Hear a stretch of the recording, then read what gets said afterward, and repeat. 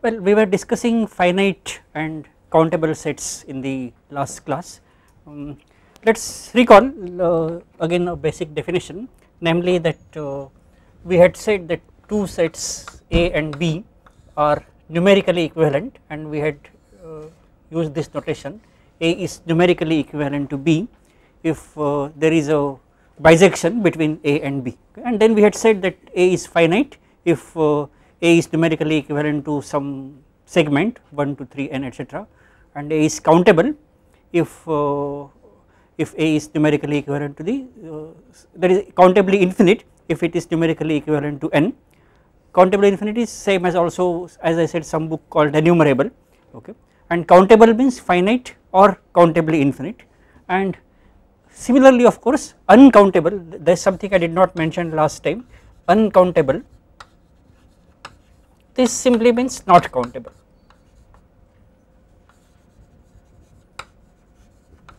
Okay? That means neither finite nor countably infinite okay? Or to be more precise it means that there is no bijection between that set and the set of all natural numbers okay? That is that is the meaning of uncountable. Now the whole question is how does one show that a certain set is a finite or countable or uncountable or anything like that and let us now see some techniques of that in this class. Okay. Uh, let me again remind you that in the last class we showed that every infinite set has a countably infinite subset okay and using that we showed that every infinite set is numerically equivalent to a proper subset and so this is a property which distinguishes between finite and infinite sets okay. No finite set can be numerically equivalent to a proper subset of it whereas every infinite set is numerically equivalent to a proper subset of it. Alright. Uh, before proceeding further let us first observe that this relation is basically an equivalence relation okay? That is something that is fairly easy to see.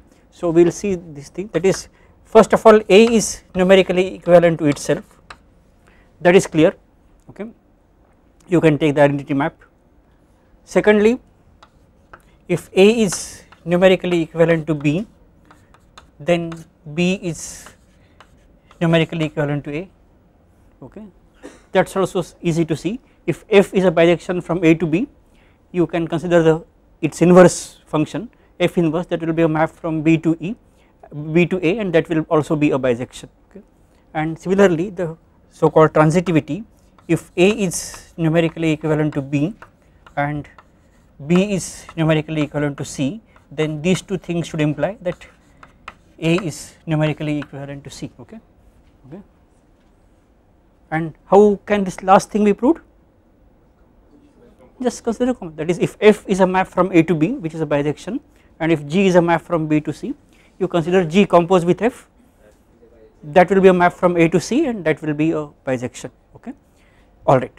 Now this is of course a very straightforward thing to see but what is the great use of this it is the following that if you have shown already that some set is finite okay and if you know that there is a bijection between A and B it will give automatically that B is also finite. Similarly if A is countable then B also will be countable or if A is not countable uncountable then B also is uncountable okay. So you can use the information about uh, the sets that you already proved using this fact okay? We will see how, how this can be done okay. Now to first of all let us uh, get sort of some some working list of countable sets okay? We already know of course that n is countable. Countable means in this case countably infinite. N then let us now uh, to prove certain things about countable sets we need some properties of this set of all natural numbers n okay? Alright. Now how does one prove properties of natural numbers n I mean if you want to proceed very logically you have to start from the definition of n and how n how this set of all natural numbers n is constructed. And the standard way of that is following what is called this Peano axioms.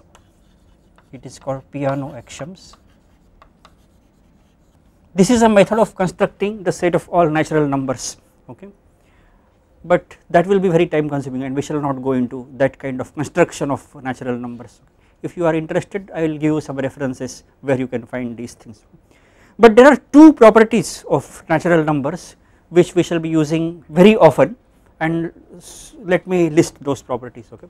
First is what is called well ordering principle.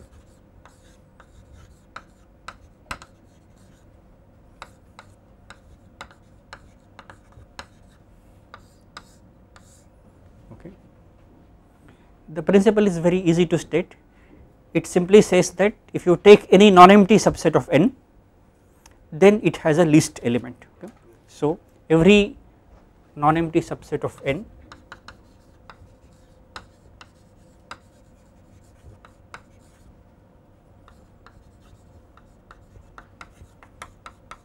n has a least element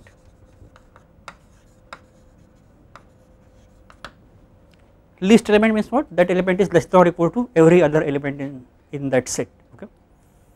Of course using this property one can show that that least element is unique okay. Alright the second property is what is called principle of mathematical induction.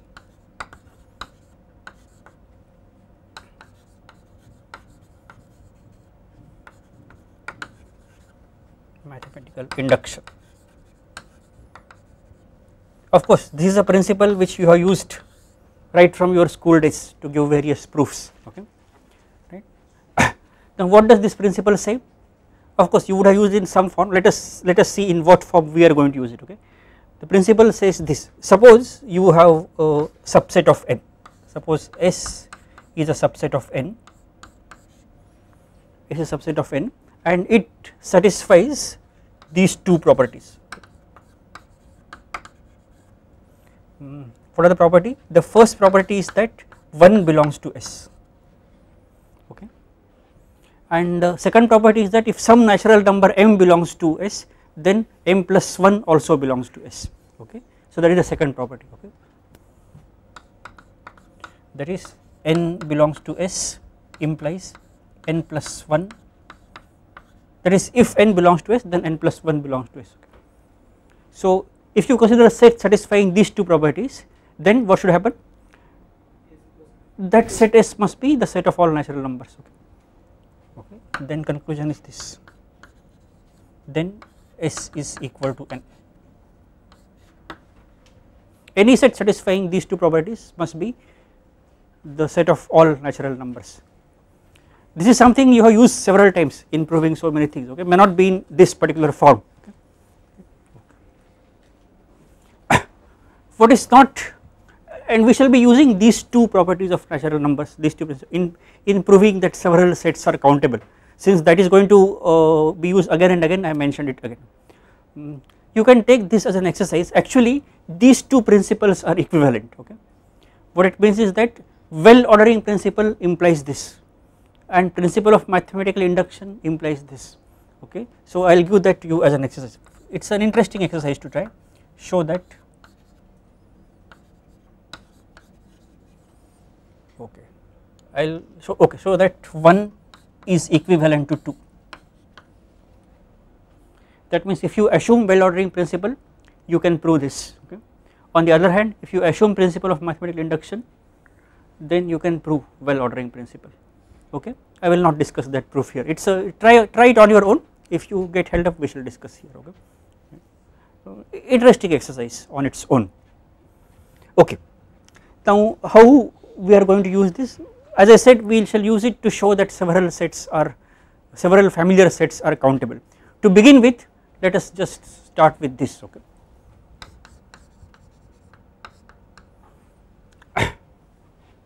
Yeah, by the way, why is this called a well ordering principle? The reason is the following. Suppose you let you take a non-empty set. Let us say A. Okay, A is a non-empty set. Then it has a least element. Okay. Suppose you call that element let us say A1. Okay. You remove that element A1, then A minus A1 either it is the whole of A or it is still non-empty. If that is the case, that remaining set also has a least element. You can call it A2. Okay. Then again do the same thing. Look at a1 a2 either that is the whole of a or a minus a1 a2 is again non-empty. If if it is non-empty then that also has a least element. You can call it a3 so this way you can order the elements of a okay? You can order the elements of A and that is why it is called well ordering principle. And this is in fact the principle which we shall be using in some of the proofs okay. So in fact in this particular proof which okay uh, let us uh, what is what does this theorem say it is that every subset of A not not A every subset of n is countable.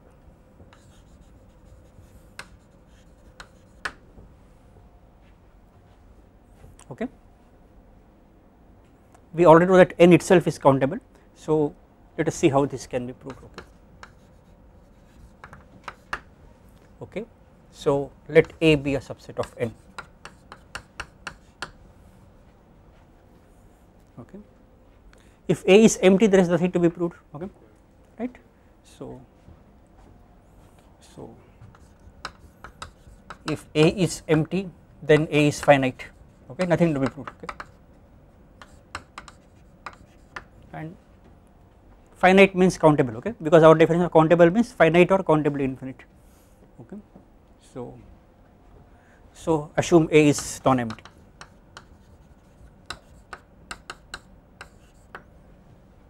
okay. Once you say a is non empty I can invoke this.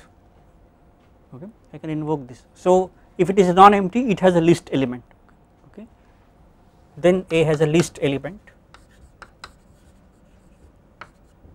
Has a least element.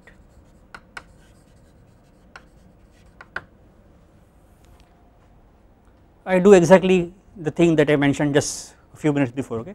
That least element I will call a1 okay. So that least element a, a has a least element. Suppose I call that element a1 okay? Alright. Now consider a minus a1 consider a minus this singleton a1 right? Then again there are two possibilities either a minus a1 is empty or non empty okay right? Okay so a minus a1 is empty or a minus a1 is non empty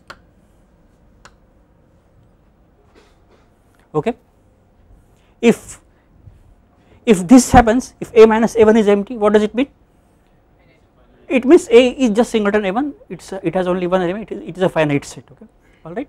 So this implies that A is singleton A1 and is finite. Okay. What does this imply? What what will this mean? If it is non-empty you again apply the same principle here. By this that will have a least element. Okay. And I will decide to call that least element A2 okay so if if A minus A1 is non-empty it has a least element.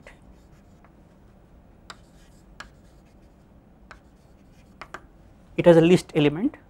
And suppose I decide to call that least element A2 okay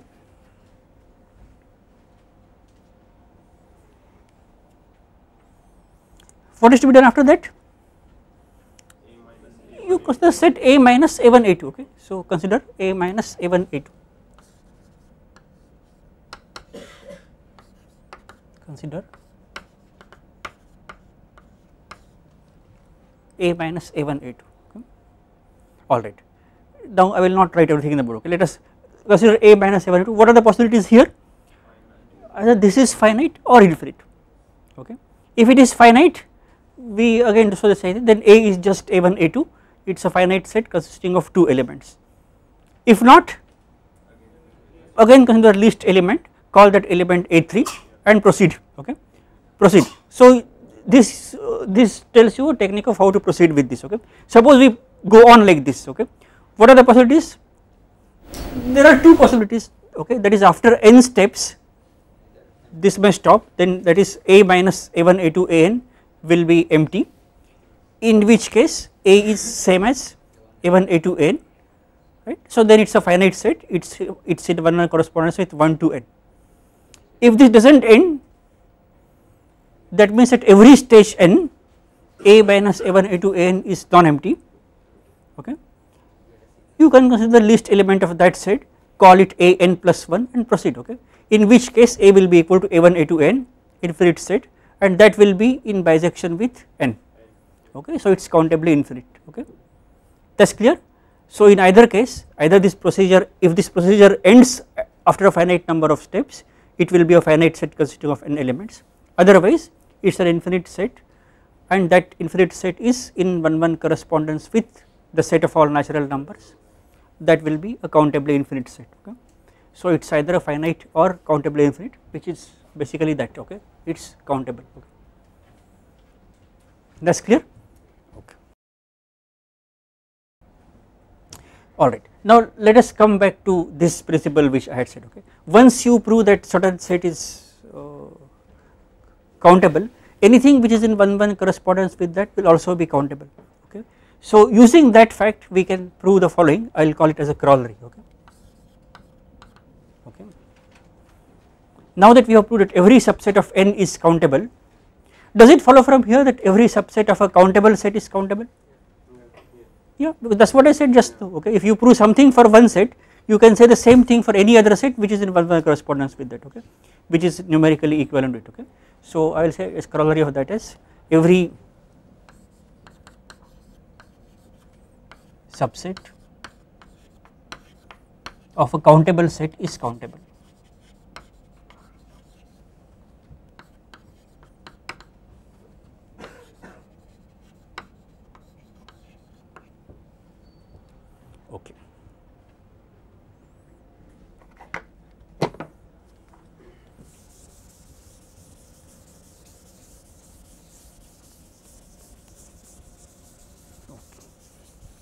Now in order to show that a set is countable we have seen that there are two ways okay.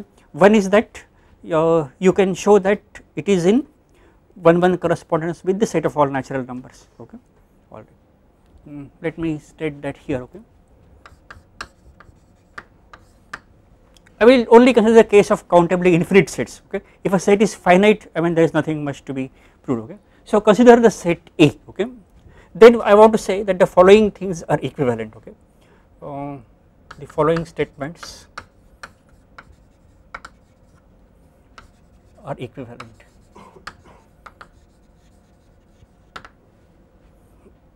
Okay? In fact this is something we are going to use very often. So there is again a very standard notation used for this. It is this TFAE the following are equivalent okay? We will just use this TFA to say that the following are equivalent since we are going to use it again and again uh, we will use this standard notation and it is fairly common okay? It is used fairly often also okay. and what is that? First I want to say that A is countably infinite.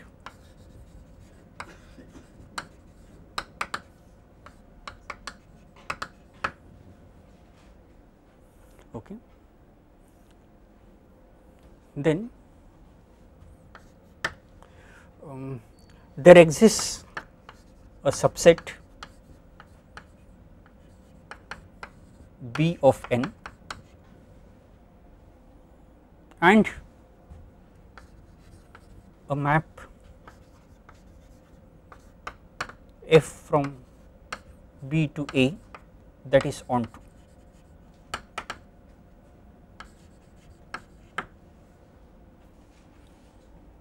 okay alright and similarly we can say that there exists a subset um, let us say C of n and a map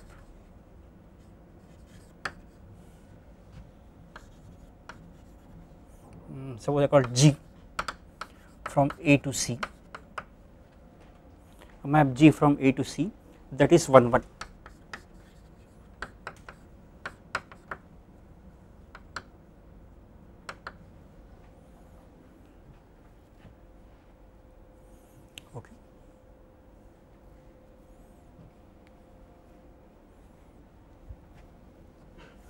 what does it mean?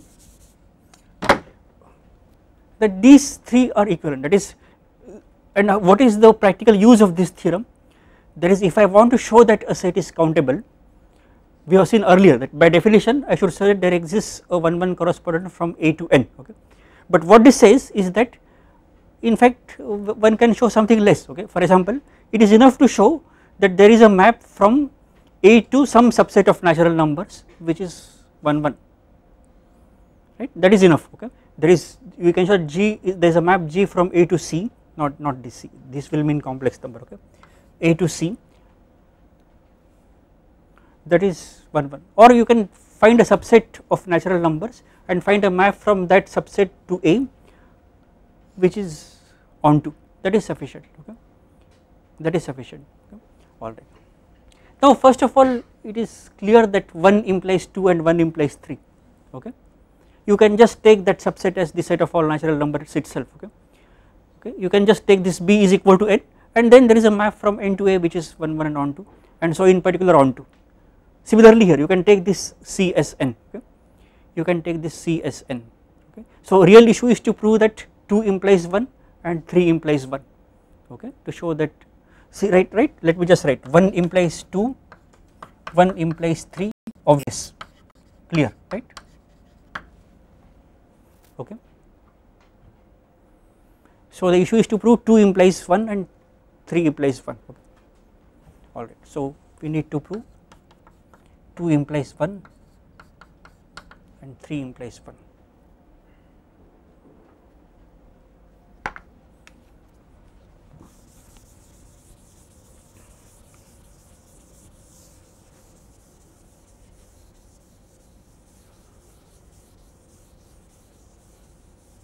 okay. Um, since since 3 implies 1 is easy I will take that first.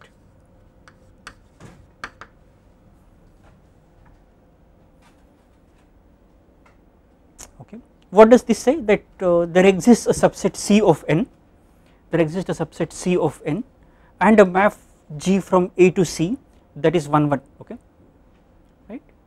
Right? That is there exists a subset C of n and a map G from C to A that is 1 1 okay? Only thing is that this map may not be onto okay?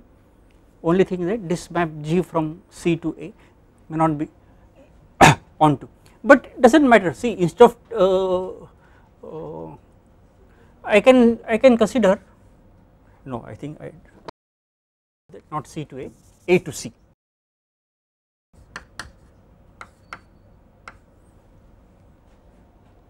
Sorry, A to okay. But what we can say is that even if it is not uh, onto uh, onto n, uh, we can consider this G of A. Okay, we can consider this G of A. Then a to look at the map A to G of A. Look at the map A to G of A. We already know that it is 1 1 and since we are not we are taking only the elements of G of A that is onto okay? We are taking only elements from A to G of A that is onto okay? So A and so what it means is that A is numerically equivalent to G of A right? A is numerically equivalent to G of A okay? Alright. Is this G of A subset of n? Right? Okay it is subset of n. Now look at this theorem. Every subset of n is countable. We have already shown every subset of n is countable. So in particular this G of A is countable okay? And hence countably infinite okay? Because uh, because it is not finite so it is infinite so it is countably infinite okay? That shows that A is countably infinite fine okay. In a similar way you can show that 2 implies 1 okay? Because what we can think of is the map which takes f from B to A that is okay is this clear? First of all 3 implies 1 okay? It's it's enough to just consider a subset uh, of natural numbers and show that there is a map from A to C that is 1 1 okay? And similarly it is enough to consider a subset of B of n and show that there exists a map B to A that is onto okay right? See what you can do is that you can see the again similarly as we have followed here uh, the map from B to A is onto. It is not 1 1 okay? But what we can do even if it is not 1 1 from B to A I can think of a subset B of A and a map from B of A which is both onto as well as 1 1 okay? And then that subset is countable and how to consider that map from B to A which is uh, 1 1 and onto either you can take uh, either you can use axiom of choice or you can use well ordering principle okay? That is you can take that is you look at an element A consider its inverse image in B that will be some non-empty set okay? If that is a subset consisting of just one element there is no problem. If it contain many more elements you choose the least element of that okay and do it for each element in A. That way you will get a subset of B which is in 1 1 correspondence with A. That will be a subset of natural number. Okay? Right? Okay. I, I have given you the main idea. You can develop the proof with this. Okay? Alright.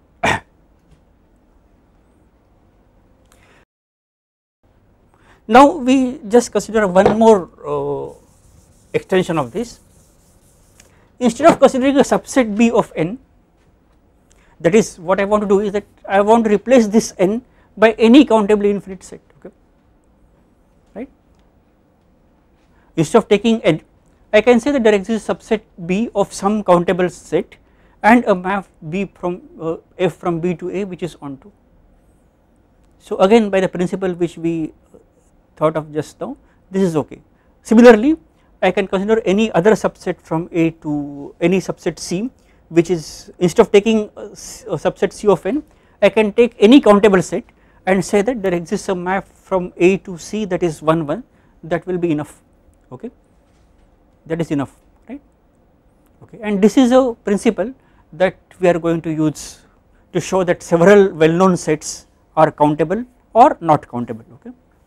In fact this will be used to say that they are countable okay?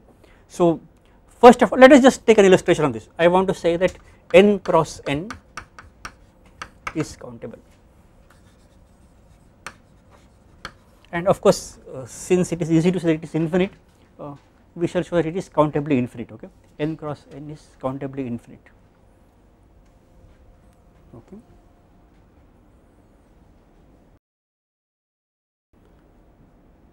Okay I will use this 3 okay? If I am able to say find a subset of natural numbers and a so suppose I call this A, A is n cross n okay. If I am able to find a subset of natural numbers okay and a map G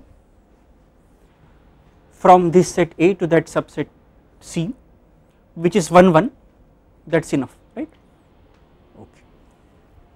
What are the elements of n cross n? yes ordered pairs of the natural numbers ordered pairs of okay. So n cross n this is the set of all elements of the form m comma n where m and n both are natural numbers okay. Alright. So I consider a map let us say G from A. In fact I will take this set C as n itself okay. Okay. Right. So I will take a map A G from A to N as follows. Okay define. G from A to N as follows okay. Um, G of this M comma N. G of this M comma N.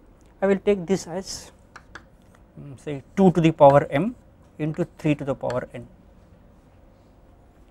Okay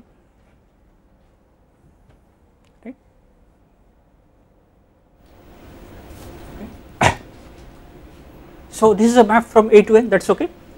Okay. Is it 1 1 see how does one show that something is 1 1 see suppose you take some other m1 n1 okay? Then g of m1 n1 is 2 to the power m 3 to the power m1 3 to the power n1 okay? So if if let us say uh, we consider g of m1 n1 this will be 2 to the power m1 multiplied by 3 to the power n1 okay? Suppose these two are equal okay? G of mn is g of m1 n1 okay? Then that means 2 to the power m into 3 to the power n is same as 2 to the power m1 into 3 to the power n1 will it follow from that that m is mn is same as m1 n1 that is suppose these two are equal then that will imply that 2 to the power m into 3 to the power n is same as 2 to the power m1 into 3 to the power n1 okay. So what I can say from here is that this will imply that 2 to the power m minus m1 is same as 3 to the power uh, n1 minus n. Okay. Right? Okay but some power of 2 is equal to the some other po some power of 3 so when can this happen? There is only one way that this can happen. That is that must be 1 okay? That is if this is to happen then this must be equal to 1 okay? That means m minus m1 is 0 and n1 minus n is 0 which is same as saying that m is equal to m1 n is equal to n1 okay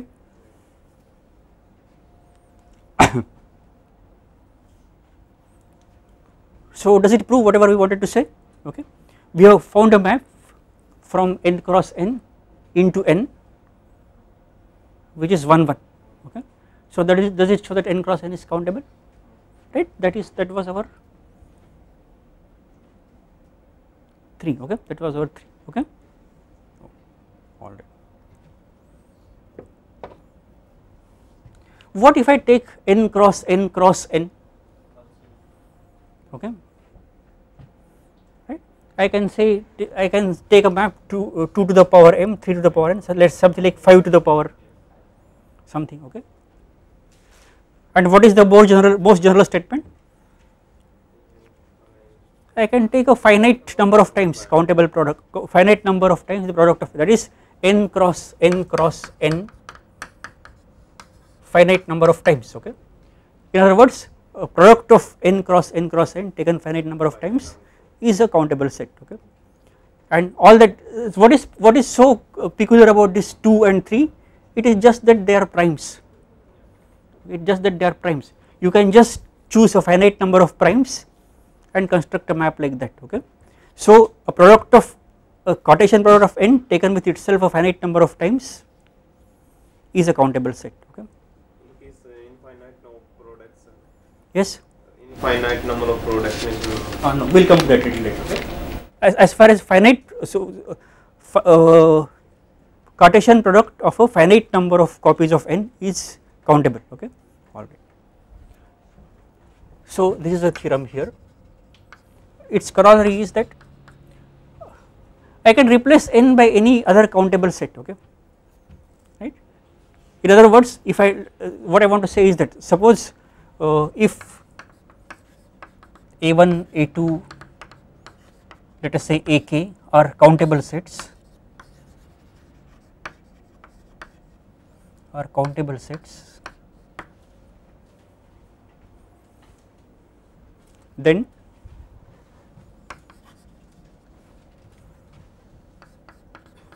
a1 cross a2 cross ak is countable. Okay in other word if you take a finite family of countable sets then and then take their Cartesian product then that is countable okay? Right? Does it follow from here? All that we are doing is replacing n by any countable set okay? Each of this a1 a2 ak is uh, equivalent to n and so replacing n by this okay? All right now let us look at the union. Okay.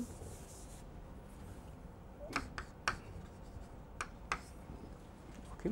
And in union we can take even a countably infinite family. Okay. So let us say that let uh, uh, belonging to let us say n be a family of countable sets.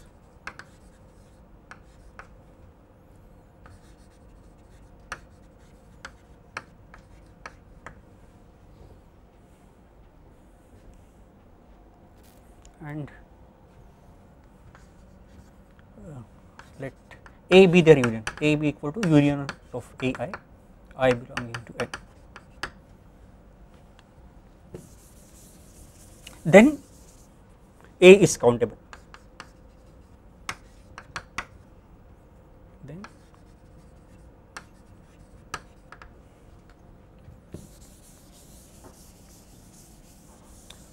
or, or to put it in words if you take a countable family of countable sets then their union is countable okay. that, is union of a countable family of countable sets is countable okay that is what we say in words okay.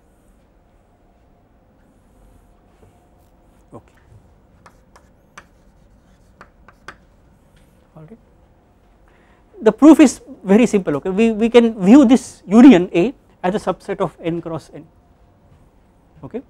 We can view this union way as a subset that is in other words we can establish a one one correspondence between A and a subset of n cross n. And since we have shown that n cross n is countable every subset of it is countable and hence that is countable. And how does one show that? Okay let us look at the set A1 okay okay we know that A1 is countable okay. So it is finite or countably infinite okay. So it is either finite or it is in one correspondence with n okay. So suppose it is finite I can write its element as let us say a11 a12 etc if it is finite it will stop somewhere okay. If it is infinite it will continue. It will be in one one correspondence with n okay and similarly for a2 I can write elements of a2 as a21 a22 etc okay. If it is finite it will stop at some stage A2n otherwise it will continue. Okay.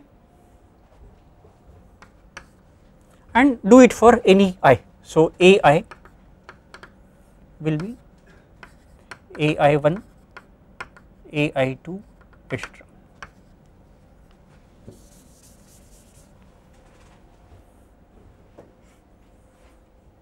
does it more or less finish the proof? Okay. Now a is union of all these ai's okay. And so I can write a a as nothing but the set of all elements of the form okay because if you look at take all of them okay all elements can be expressed as aij okay right?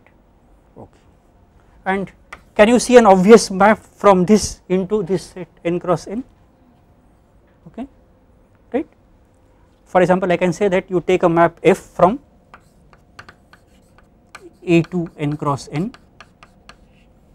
What is the map? Goes to a a i j goes to i comma j okay a i j goes to i comma j okay right. So that map is 1 1 okay. So a is in one one correspondence with some subset of n cross n okay and hence A is countable right. We do not have to show that it is onto okay. We already seen that okay. It is essentially we are using this principle 3 okay okay. So let us again recall what what did we prove so far? That if you take any okay. Now let us go to some familiar sets okay? Go to this set z okay? Is the set of all integers okay? Right? Okay. What are the elements of this? They are all integers. So what are so they are let us say the first is set of all natural numbers so what are the extra elements other than this? This 0 okay this I will say this union 0 union minus 1 minus 2 etc okay? Alright okay. This is anyway a countable set we know already. This is a finite set. What about this? This is a in one correspondence with n it is a countable infinite okay so this is a finite union of countable sets.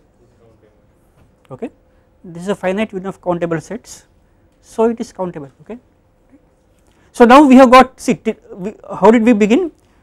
We wanted to discuss how to show us that certain set is countable or finite. Okay. So after proving these theorems okay we have now found one more technique. Okay?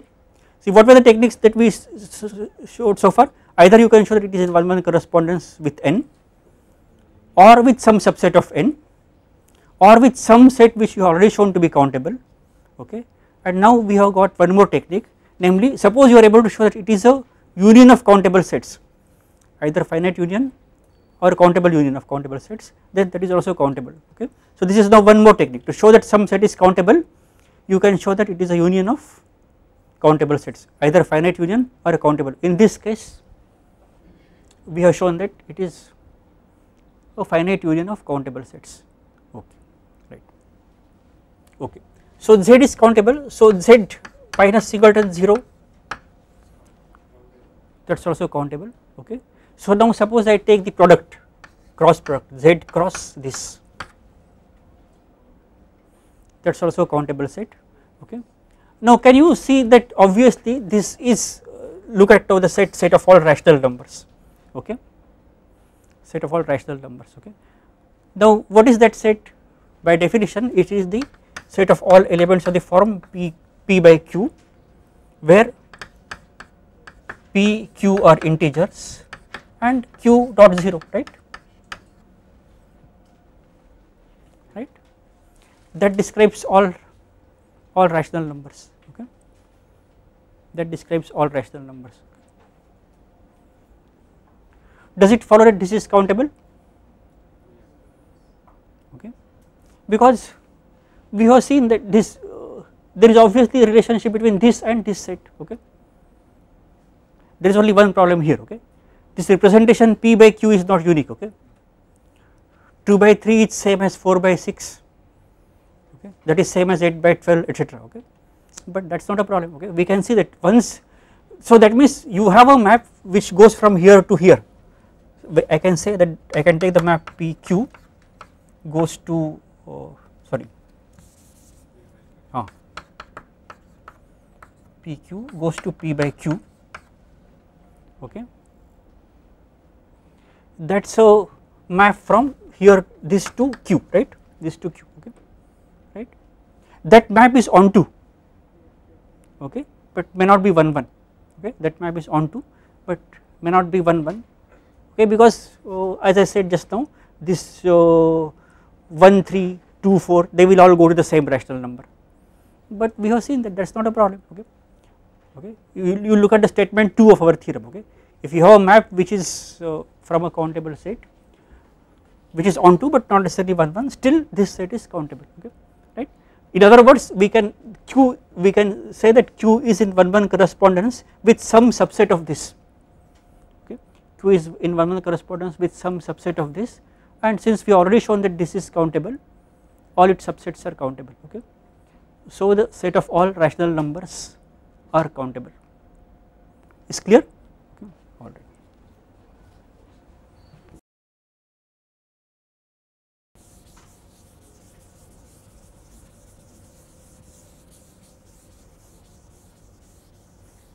Okay now before proceeding further i will give you one exercise okay? Okay. Mm. uh, let us to to take the consider exercise we need a definition of what is called an algebraic number.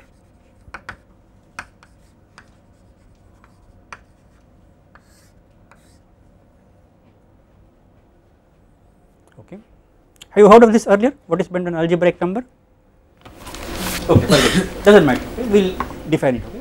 A number is said to be an algebraic number if it is a root of a polynomial with integer coefficients okay? Right? So it can be a real number or a complex number.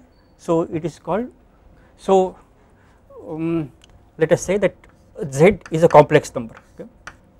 It is a set of okay? So z is called an algebraic number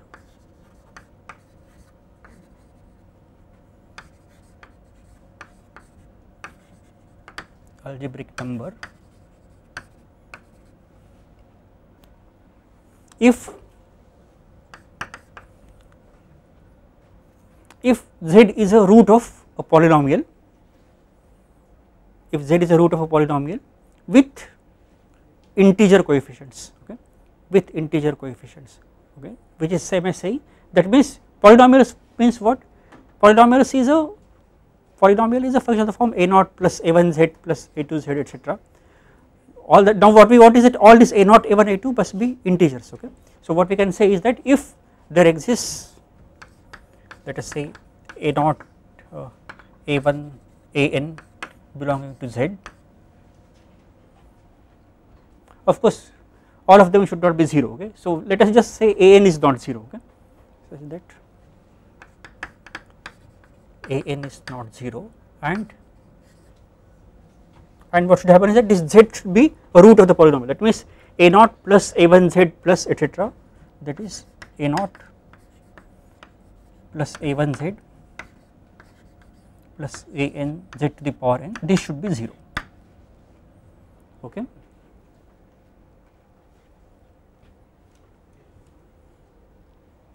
Okay.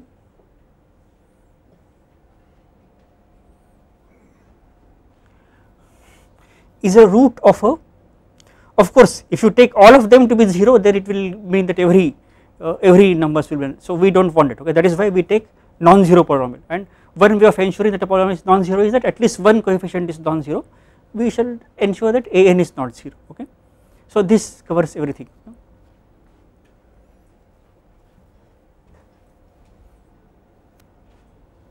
Okay. Now how do we uh, how do we know that certain number is algebraic or not? Obviously all integers are algebraic numbers okay? Right? We can just we can just take the polynomial uh, for example if you take the number 2 I can consider the polynomial z minus 2 it is a root of that okay? Right? Okay. If I take root 2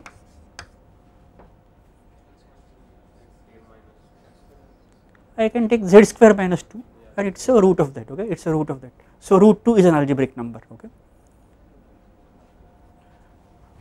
Now to decide whether a particular number is algebraic or not is not very easy okay?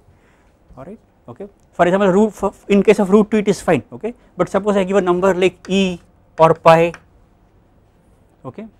You cannot say easily whether it is a algebraic or not okay?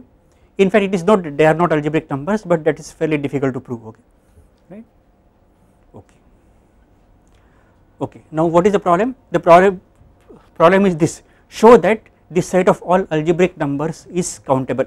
Okay that is the problem. Okay right? Show that.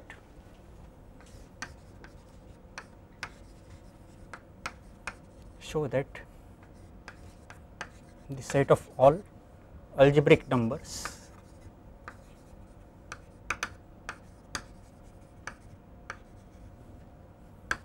is countable.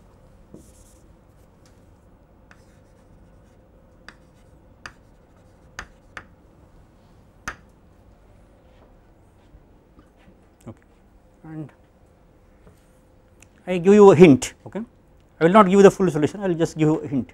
What is what are the ways of showing that a set is countable?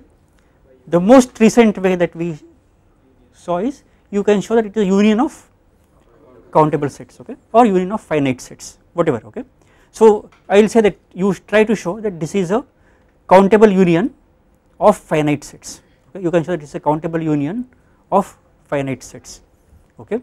So now we have seen so many examples of the sets which are countable okay which are countable that is finite or countably infinite. Now this may raise a question whether there exists uncountable sets or not okay whether there do exist uncountable sets or not and that is something that we shall answer by now how, how does one show that certain set is not countable by definition you have to show that there is no one one correspondence between that and the set of all natural numbers okay that is one way of showing and then once you show that some set is not countable then any set which is numerically equivalent to that is also not countable okay. How to go about showing that? We shall we shall discuss that in the next class okay. We will stop with this for today